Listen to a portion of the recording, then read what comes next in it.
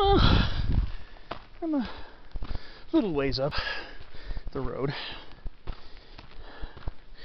I am already coming up to my first junction. It's going to be a split in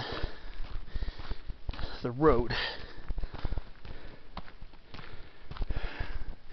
You're going to see a sign coming up.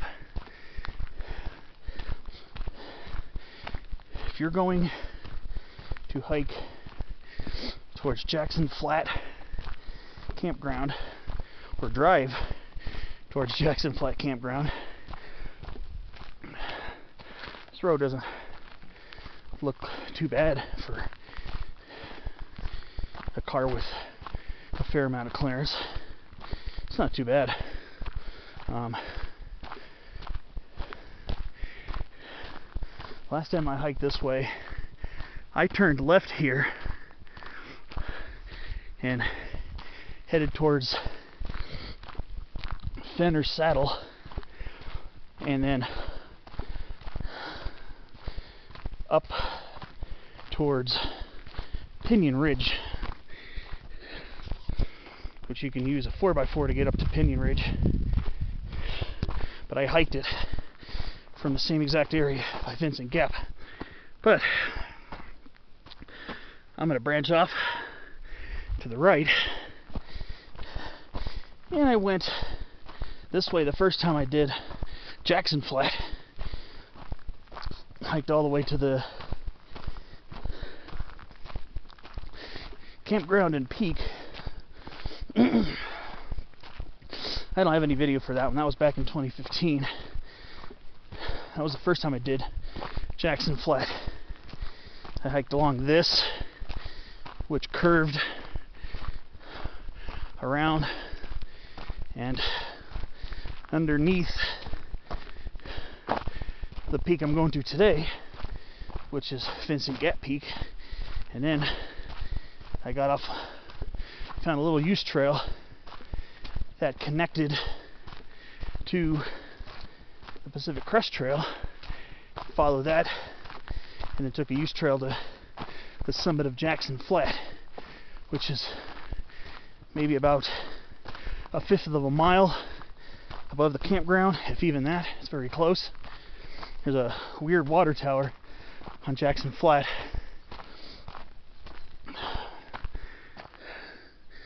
There's a Boy Scout trail to Jackson Lake. You can also access Jackson Lake too, which is clear on the other side and about about 800 feet lower. We're at about an elevation of 6,900 feet right now. And I have about 600 or so more feet of elevation to, to gain. It's really easy getting up here if you're doing it on foot. The road's not steep at all. I'm still a out of shape from doing a lot of resting from my injury, but it's not that hard. We're almost in a monotypic stand at Jeffrey Pine. Just about all Jeffrey Pine. Except here's a small single leaf pinyon right here. So it's been almost four years since I've been this way. I walked along this for a while. So when I went to all the whole way to Jackson Flat, the campground area, and the peak. Another single leaf pinyon over there too. So we'll start getting some single leaf pinyons as we are getting closer to the drop down towards the desert. But when, once you take the way to Pinyon Ridge, when you if you fork to the left, it gets very lush.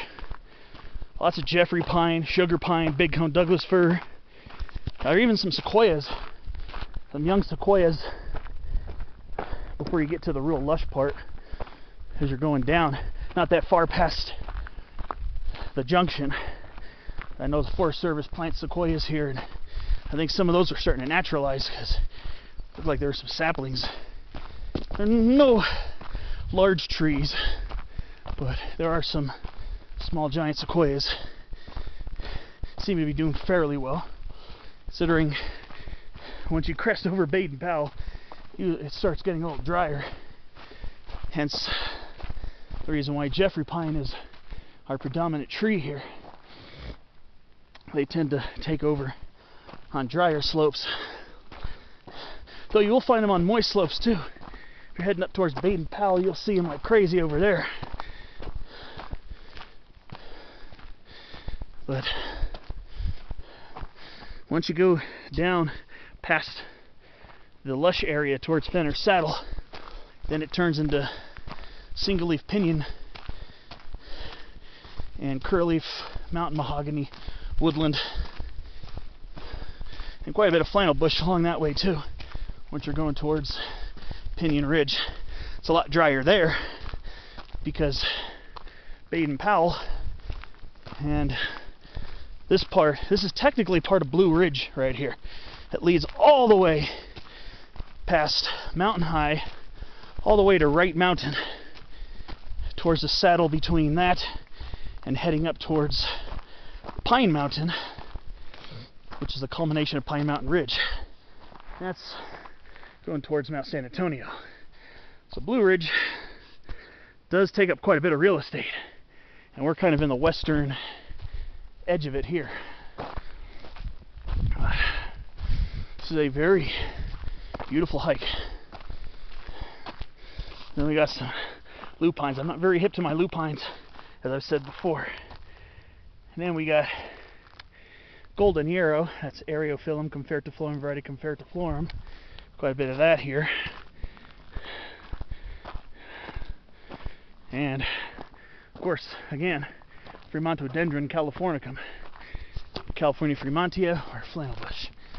So, yeah, this grade is very gradual. I think it was built so that passenger cars could drive this. So that's why I'm taking this. I think the PCT, taking the BC, PCT north from Vincent Gap